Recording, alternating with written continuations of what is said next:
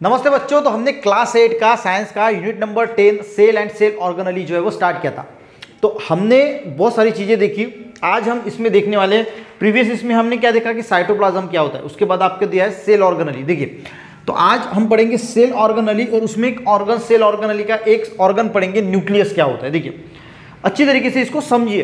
देखिए, cell organelle का meaning क्या होता है? जो सेल होता है इसके अंदर जो ऑर्गन्स प्रेजेंट होते हैं, जैसे हमारी बॉडी है, हमारे बॉडी में मैंने बोला था कि लीवर है हार्ट है किडनी है, ये ऑर्गन्स है हमारे, ठीक है? उसी प्रकार जो सेल होता है सेल के अंदर जो ऑर्गन्स प्रेजेंट होते हैं, उसको सेल ऑर्गनली बोला जाता है। अब देखिए स्पेशलाइज हर एक का, हर एक को एक सब यूनिट होता है स्पेशलाइज सब यूनिट होता है। हर एक का एक अपना अपना जो यूनिट होता है, जैसे किडनी है, हमारी लीवर है, उसका एक एक यूनिट है, ठीक है? उसी प्रकार सेल के अंदर जो ऑर्गन्स प्रेजेंट है, उनका एक स्पेशलाइज सब यूनिट होता है और उसका एक स्पेशल फ़ंक्शन होता है।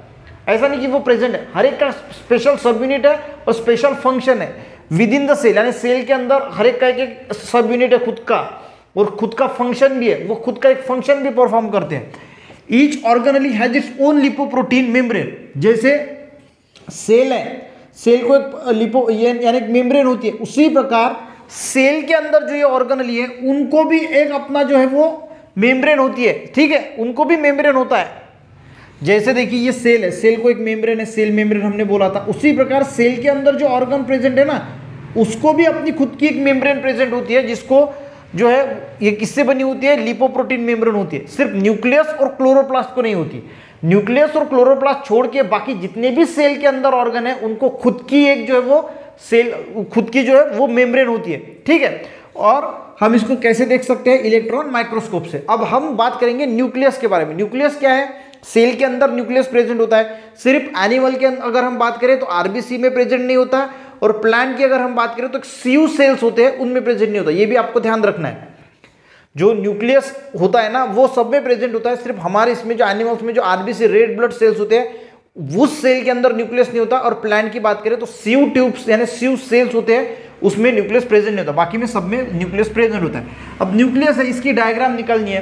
तो सिंपली कैसे करना देखिए न्यूक्लियस कहाँ पे होता है? सेल के अंदर। ठीक है? अब सेल के अंदर होता है तो हमने बोला, देखिए, सबसे पहले ये निकालना इसको खुद की एक लिपोप्रोटीन की मेम्ब्रेन भी होती है। तो ये मैंने निकाल दिया ठीक है? अब इसको जो है, यहाँ से कट कर देना, यहाँ से कट कर देना, यहाँ से कट कर देना। जैसे मैंने देखी ये डबल लेयर निकाली है। इसको यहाँ से कट किया, यहाँ से कट किया, और यहाँ से किट किया। ये क्या है? न्यूक्लियर पोर्स है।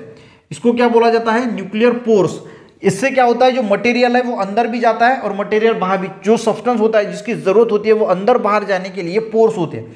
सबसे पहले समझ गया कैसे निकालना है। दूसरा, जैसे सेल के अंदर न्यूक्लियस होता है, उसी प्रकार न्यूक्लियस के अंदर भी एक न्यूक्लियस होता है। ये हमने निकाल लिया, यहाँ पे इसको बोला जाता है न्यूक्लियोलस ठीक है? न्यूक्लियस के अंदर जो न्यूक्लियस है, उसको हमने बोला न्यूक्लियोलस क्लियर तो ये हो गया न्यूक्लियर पोर हो गया न्यूक्लियोलस हो गया। अब ये जो है वो न्यूक्लियर मेम्ब्रेन है, जैसे सेल की मेम्ब्रेन होती है, उसी प्रकार ये वाली क्या है? न्यूक्लियर मेम्ब्रेन ये वाला चीज़ हो गया, ये वाली भी चीज़ हो गई और न्यूक्लियोलस भी।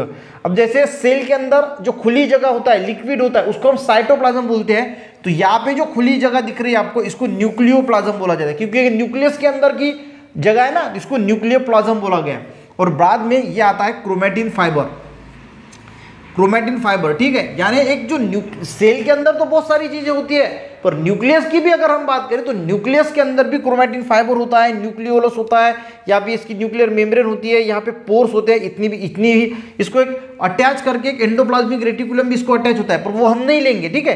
तो न्यूक्लियस के अंदर के ही हम देखेंगे न्यूक्लियर मेम्ब्रेन ये क्रोमेटिन फाइबर ये न्यूक्लियोलस ये न्यूक्लियोप्लाज्म और ये न्यूक्लियर पोर्स तो ये हो गया हमारा स्ट्रक्चर अब इसमें लिखना क्या है? देखिए ऑब्ज़र्व हमको इसको ऑब्ज़र्व करना है तो इलेक्ट्रॉन माइक्रोस्कोप के अंडर ही ऑब्ज़र्व करना पड़ेगा। देखिए nucleus covered by double layer membrane with small pore अब न्यूक्लियस जो है, वो क्या है? डबल लेयर मेम्ब्रेन से कवर्ड है और इसको छोटे छोटे क्या है? स्मॉल पोर्स है। उसके बाद nucleus has one round nucleolus एक न्यूक्लियोलस है राउंड वाला एक न्यूक्लियोलस है एंड नेटवर्क ऑफ़ क्रोमेटिन और इसका क्रोमेटिन का एक नेटवर्क बना होता है क्रोमेटिन फाइबर का। अब ये क्रोमेटिन फाइबर कैसा होता है? थीन होता है थ्रेड लाइक होता है, धागे जैसा। Structure which condense to form short three chromosome देखिए, ये जो है ना, ये कंडेंस हो जाता है और ऐसा क्रोमोजोम बनाता है। उसके बाद ये क्रोमोजोम जो है, वो सेल डिवीज़न के लिए काम आता है। यानी इसके बाद डीएनए और उसके बाद जो है, वो जीन्स इस प्रकार इसका यानी ये क्रोमोजोम बनेगा, फिर डीएनए फिर जीन्स बनेगा। यानी इसका काम क्या होता है?